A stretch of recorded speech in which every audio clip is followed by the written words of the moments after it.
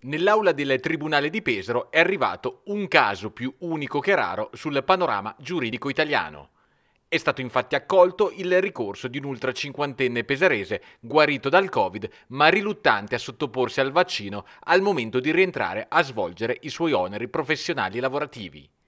È scattato il ricorso davanti al giudice che ha accolto la richiesta di perizia e consulenza tecnica per approfondire e verificare i contenuti del vaccino mRNA su un soggetto guarito dall'infezione. Un caso in sede civile che è seguito dall'avvocato pesarese Nicoletta Morante.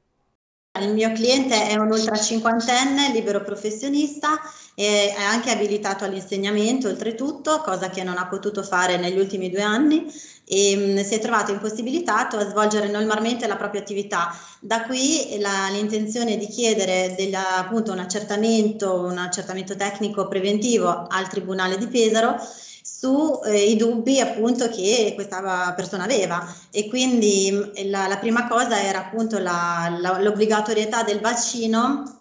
eh, pur essendo egli un guarito, quindi la prima cosa era appunto chiedere al, agli esperti se ecco, l'obbligo vaccinale per i guariti sia effettivamente una buona pratica medica. E la seconda era appunto basata sulle ricerche che aveva fatto questo cliente eh, circa degli eccipienti ad uso non umano utilizzati nel, appunto, nei, nei, vaccini, questi sieri, e eh, poi ci si è chiesti anche se effettivamente sulla base di una documentazione che avevamo già e di una pubblicazione che ha fatto per questa causa il dottor Ansovini, ehm, eh, effettivamente il, il funzionamento dell'mRNA messaggero, quindi si sta parlando solo ed esclusivamente di vaccini a mRNA, sia, eh, possa essere dannoso per la salute o enzimi contenuti all'interno di questi sieri possano essere parimenti pericolosi per la salute.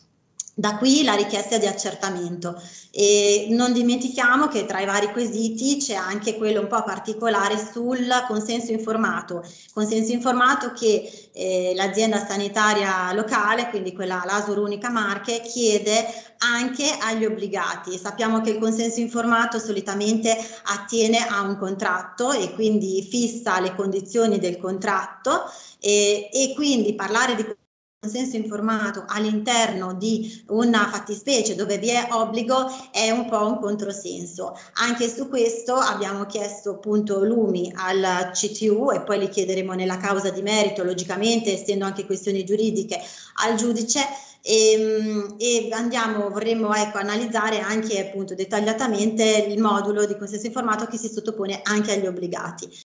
Ora si aspettano gli accertamenti tecnici che partiranno a fine settembre